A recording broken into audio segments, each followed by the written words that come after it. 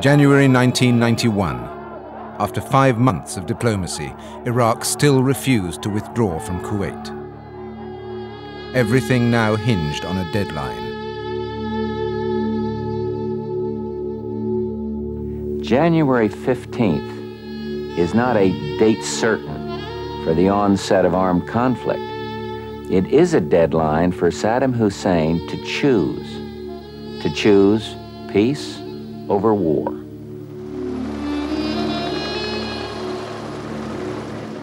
Twenty-eight countries had sent three-quarters of a million soldiers to protect Saudi Arabia. They now prepared to force Iraq out of Kuwait. An Egyptian journalist watched. حجم القوات اللي شفناها في حرب في في الايام The number دي، of troops was اليومين اللي enormous. سابوا الحرب الجويه كان Fearful.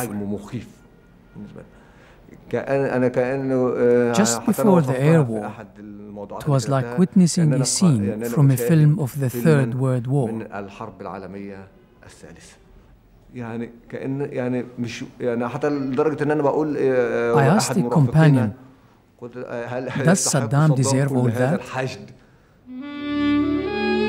President Saddam Hussein had confidence in his million battle-hardened troops, But Jordan's prime minister had a warning for him. We told the Iraqi leaders they are going to come at you by every means, with planes, etc. They said if we fight, they will not beat us. They will be defeated. Look at Vietnam, they lost there. We said things had changed since Vietnam. You will not see infantry facing infantry, but you will see continuous bombardment against you for many weeks.